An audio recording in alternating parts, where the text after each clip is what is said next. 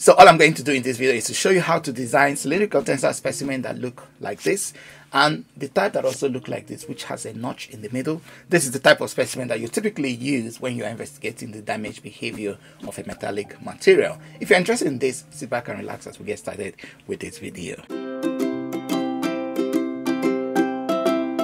So welcome to this channel. My name is Dr. Michael Okereke. I'm a university lecturer within a UK university and I host this channel where I try to help you create effective computational modeling solutions for any problem that you're trying to do. So we're going to look into this video which is the design of cylindrical tensile specimen and the standard type specimen is ASTM E8 if you look in the standard, this is sort of the kind of information you will get. So basically, it's a cylindrical specimen that got dimensions like this, and you could have up to five specimen types. And this really depends on the size of material that you have in order to undertake your tensile testing. So if you've got a lot of materials, then you can easily use the large specimen or standard specimen type.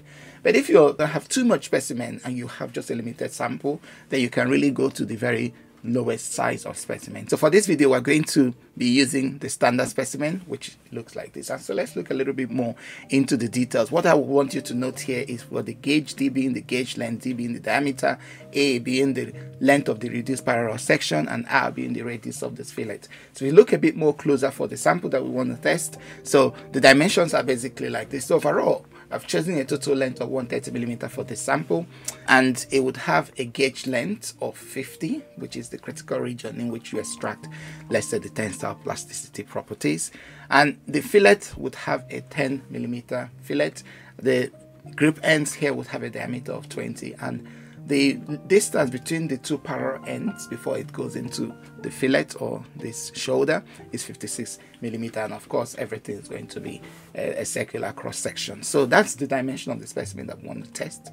And at the end, I will also look at a notch specimen. How do you create a notch specimen? So exactly the same, except that we're going to introduce a two millimeter U notch right at the center of the specimen. So that's the dimension of the specimen.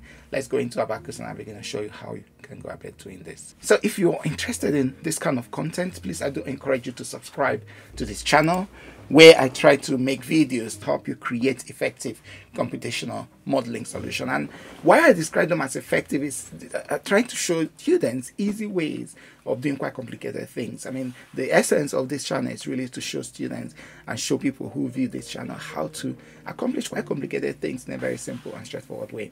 And one of the things that is at the core of the mission I have in this channel is to sort of teach you the mechanic you know from, from my background as a university professor i try to teach you the essence you know the theory behind what you're trying to do. Sort of being very deductive in how you go about trying to make videos and trying to understand what we're doing with this channel. So that's sort of really the vision of this. And so if you're interested in this kind of content please do subscribe to this channel and also if you have ideas of videos you'd like me to make please do again leave me a comment in the comment section so that i can i do read all the comments and i try to respond to students and try and see if i can make videos to support you. So let's quickly go back into Abaqus as i begin to show you how to actually do this. Okay so the first thing we need to do is we go to the part module and then we're going to call this a cylindrical specimen. So i'll call it a cylindrical specimen. I'm going to make it 3d specimen it's deformable and i'm going to use the revolution method to do this. So overall, the length of the specimen would be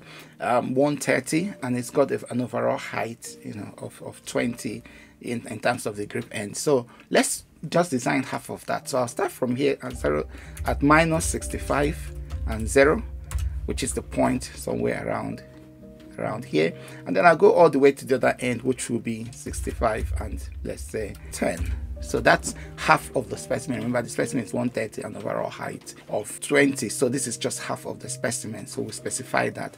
The other thing I want to do is to specify how wide the gauge section will be. Our gauge section is 12.5. So half of 12.5 will be minus 6.5. So again, I'll start from the zero position and then 6.25 would be. So this is just a construction line to indicate what's going on at this region. All right, so what I'm going to then do is to create the length, the longest region for the parallel regions that we're interested in. So I know that it's 56 overall. So if we then position this, this will be minus 28 and 6.25. So that's this position. And then we'll go on to the other side and that will be 28 and 6.25 so that's the region that are sort of the largest region in this material. And then after that, we're going to then have a shoulder. All right, so what we're going to do is that we're going to fix that region. So I'm going to click on this. I say, I want you to fix so that it's not going to move. So we'll fix basically that point and that point. So they are anchored and then we can then go ahead and put this center arc around here, and another center arc around there. So it doesn't really matter the dimension. So we're just going to dimension it because we know that it has to be about 10 in diameter. So that's fine in radius. And this is also 10 according to the standard. So we've got all those bits represented properly. Then we just need to trim certain parts. So I'll use this trim option, trim there, trim here, trim here, trim there. So we've got sort of the size of the specimen that we need. So this is the grip ends, the grip ends, and the gauge section and the longest barrel region. So now we just need to introduce, because of how we, we need to introduce a construction line in the middle here so that when we now rotate, so if we click done, so basically it says select the construction line, we select that, and then we want to rotate it by 360 degrees. So that becomes our cylindrical specimen that we're going to work with, and everything looks excellent. So that's how the specimen will look like. So we've got the grip ends, which is quite significant because one day it will be held securely. We've got a nice shoulder that has a diameter, a radius of 10, and then we've got the longest region. Clearly, we want a gauge section that is a bit smaller in the center here. So how do we go about doing the gauge section? So we know that it's going to be in the middle here. So we're going to introduce some reference points. So if I press and uh, hold, so I'm going to use this offset point, create an offset. So offset from the center. So we know that the center in this x-axis will be 25 to the left and 25 to the right.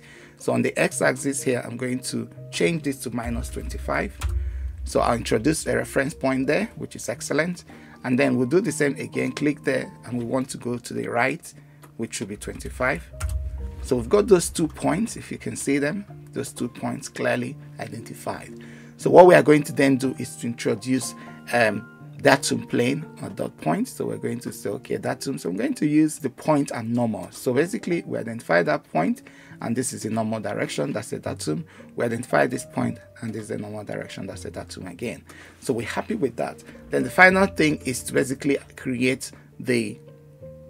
So I use a, a datum to partition the system. So this is my datum. I'll create partition, select this other region, and then that's the datum again, and I'll create partition. So what we've done by this is that we've isolated the gauge section, which would be the region where the critical properties of the system will be ex extracted. So that's fine. Then the last thing we need to do while still on that specimen is to mesh it. So I double click on that. Okay, so we've got, so we select a mesh of, it's recommending three, so we can keep three, or maybe I'll do two. So this is fine. However, we need the gauge section to be finely meshed.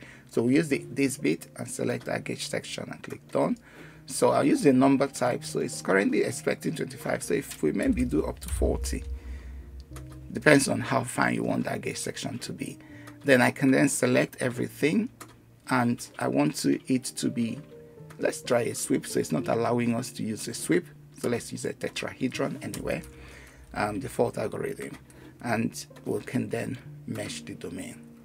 So now we have a finely mesh system with the gauge section finely mesh and the regions all nicely done and we can go ahead and use this with our simulation. So that's the first part. So I'm just going to rename this. So now we want to then go and create the notch sample. So let's just create a copy of whatever we used. So this time we're going to call it notched. So and how what do we need to do with the notch? So if we come back all the way to the side the cylindrical specimen. All these other things, we can delete it because it wouldn't be necessary. What we then need to do, we open the revolve under the sketch section. So this is sort of where we are. So we want to put a notch here. And that notch will have a, a radius of, it's a U notch with a radius of two millimeters. So I'm just going to introduce a circle right here.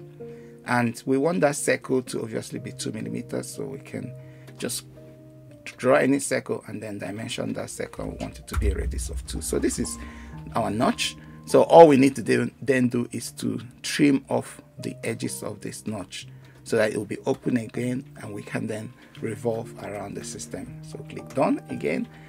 Okay since nothing has happened so we go to features and ask it to regenerate. And right away you generate a notch sample of that ASTM E8 specimen. We don't need to again isolate the gauge section because it's quite clear here. So all we need to do is mesh. So I saved the global size of mesh. However, in this region, I'll be interested in finding more seeds. So I'll put here and it's currently that. So if I make this maybe 20, so that will be a finely meshed region. Maybe 20 is too much. So if we make it 15, okay so that's a finely meshed region. So you could also try and mesh around it using those ones. So again it's recommending 20 so maybe if we do 30 so that's a final mesh region. We really need this region to be finely meshed because there will be a lot of stress concentration around that. So damage will probably initiate there. So we do want to have a fine small mesh size so that damage can nicely propagate through that system.